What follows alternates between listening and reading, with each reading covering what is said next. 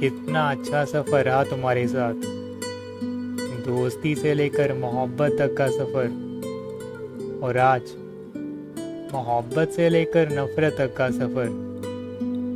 वैसे तुम्हारी मोहब्बत से ज़्यादा तुम्हारी नफ़रत कमाल की है।